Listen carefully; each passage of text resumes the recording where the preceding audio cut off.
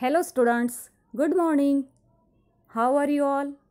I hope you all are fine at home. First poem Bharat Mate Asa Tiranga. Yesterday we had seen reading explanation of first and second stanza. Now I am going to start third stanza explanation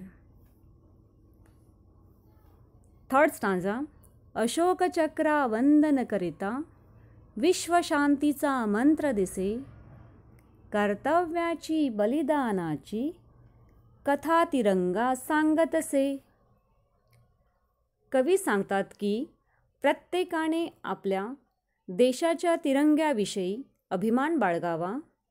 तसेच तिरंग्याच्या मधोमध अशोकचक्र हे विश्वशांतीचा मंत्र देत आहे जे होऊन गेलेले देशभक्त अनेक क्रांतिकारी क्रांतिकारी मीन्स फ्रीडम फायटर्स ज्यांनी आपल्या देशाला स्वातंत्र्य मिळविण्यासाठी तिरंग्यासाठी बलिदान दिले असा हा कर्तव्य आणि बलिदानाचा झेंडा आपल्याला कथा गोष्ट सांगत आहे. नाऊ फोर्थ स्टांजा प्रगतीपथावर तूज नेता रस्ता मजला कमी पडो. स्फूर्तिगीत हे गाता नामज सर्व दिशांचा विसर पडतो. कवी सांगतात की मी जेव्हा प्रगतीपथावर पथ म्हणजे काय? तर रस्ता.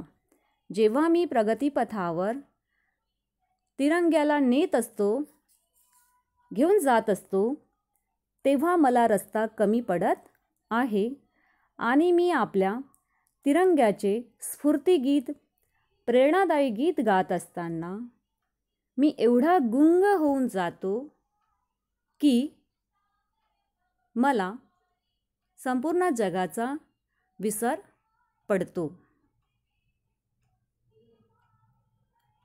पूर्ण कवितेचा भावार्थ समजून घेऊ.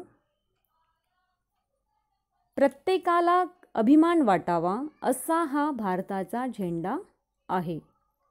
या झेंड्यातील तीन रंगांपैकी आपल्याला हिरवा रंग हा समृद्धीचे प्रतीक आहे असं दर्शवितो. तर पांढरा रंग हा आपल्याला शांततेचा संदेश देत आहे. तसेच केशरी रंग आपल्याला त्यागाचा संदेश देत आहे. तसेच तिरंग्याच्या मधोमध अशोकचक्र हे विश्वशांतीचा मंत्र देते. असा हा कर्तव्य आणि बलिदानाचा झेंडा आणि अशा या झेंड्याचे गीत गात असताना मला सर्व जगाचा विसर पडू दे असे कवी मनात आहे. Explanation is over then today's homework is every one should have read and learn this poem at home this is all for today remaining portion we will see next period. Thank you. Take care